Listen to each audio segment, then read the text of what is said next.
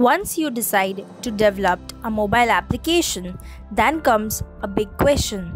Which type of application should I use? There are three main app types you can explore web, native, and hybrid. In this video, we will be exploring the differences between these three types, how they work, and how they can be adapted to your business needs so you can pick the one most suitable for you.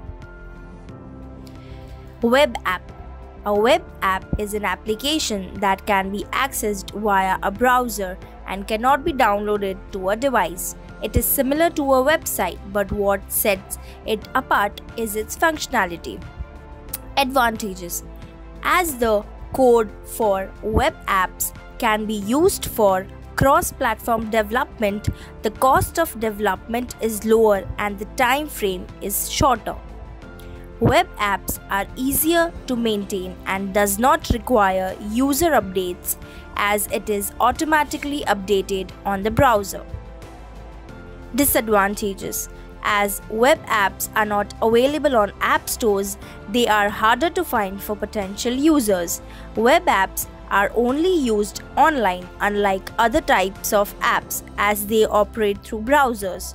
As web apps are not tested by an app marketplace, there is no guarantee as to the security and safety of the app. Native app Native apps are built specifically for a certain platform. These apps often come pre installed on your device. They can also be found in app stores. Advantages Native apps offer the option to use push notification to increase app usage and achieve goal within the app.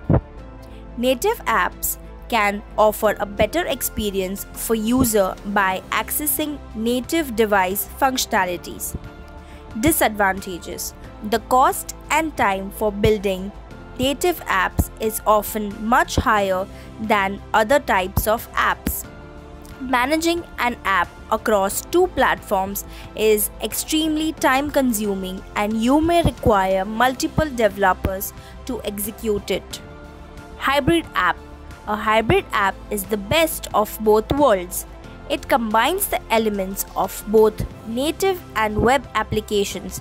It is hosted in a native app, but it has the embedded features of a web app.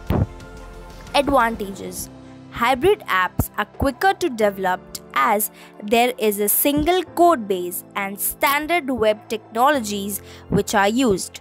Hybrid apps can be used with or without an internet connection.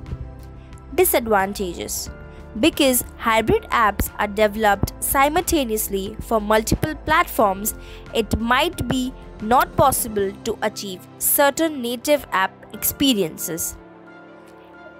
There can be a performance lag for certain devices compared to native apps as it depends on the capability of the user device.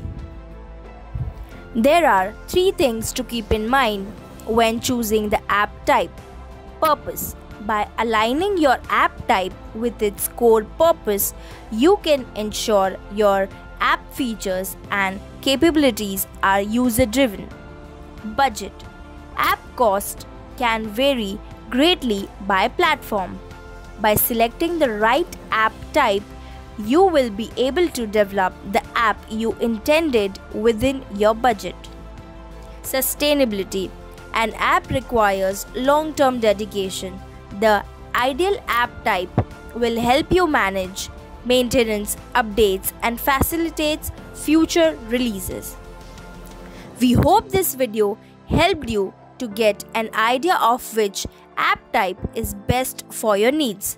Don't forget to share your feedback in the comments.